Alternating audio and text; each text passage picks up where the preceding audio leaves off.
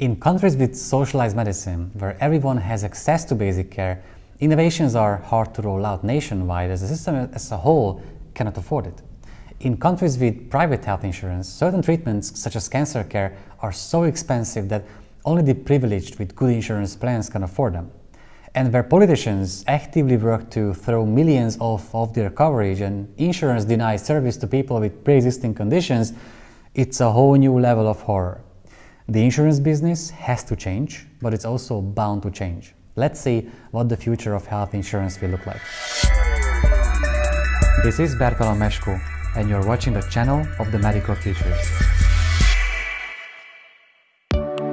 Artificial intelligence and new technologies like uh, wearable sensors will change the status quo and insurance companies will certainly try to implement those into practice. The spread of electronic medical records and big data analytics will make it possible to move from reactive care to preventive and personalized care. Why is it important? Because health insurance is a risky business. From the insurer's side, they can't get enough information to make fully informed investments in a person's future health.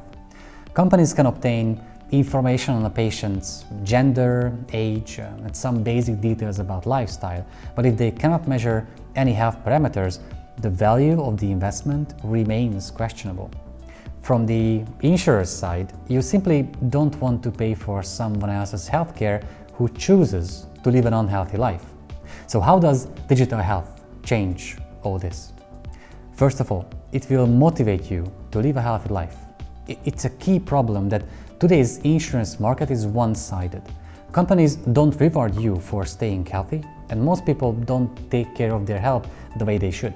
They simply pay up, and when a symptom arises, they will hope their doctors can fix the problem. But imagine to get reduced premiums if you keep a healthy lifestyle.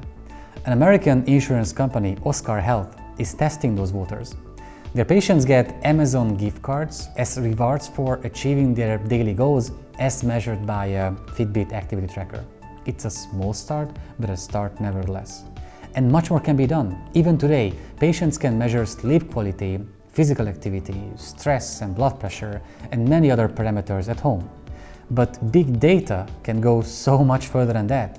An Iceland-based company, Decode Genetics, says it has collected full DNA sequences of over 10,000 individuals.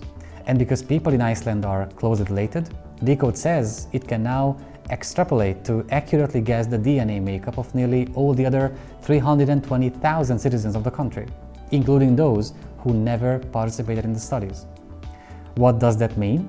According to their CEO, they are able to identify everyone from the country who has a deadly cancer risk. The only problem, they are unable to yet warn those people because of the ethical rules of their research.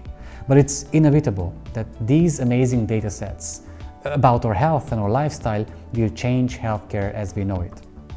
So, is the future all bright and shiny? Well, not exactly. It's no question that this immense amount of health data will be utilized by health insurance companies. The question is rather how they will do it. You know, what if companies will only provide patients with insurance if they are allowed to access all of their data, including data coming from sleep and fitness trackers, the blood pressure and ECG they store, and the gadgets they use to assess their general well-being? What if companies will leverage on that data to make premiums higher for high-risk patients? What about predominantly genetic and not lifestyle-related problems? What if insurers take pre-existing conditions one step further and require genetic tests to provide a personalized plan? That's why regulators must be at the forefront of innovation. Only they can ensure to avoid the creation of a Dr. Big Brother who watches us, has access to every detail of our lives and thus impacts our personal decisions. We must at all costs avoid a scenario where someone would control what we eat, when we exercise and when we lay down to sleep. But if I need to share my fitness tracker's data with my health insurance company to enjoy the rewards of living a healthy life and to have an equally compensated healthcare system, I'm happy to do that. As long as I'm the sole authority over my health data, I can decide what and who I choose to share it with. It's a small price to pay for a cheaper, sustainable and ultimately a more effective health insurance system. What do you think?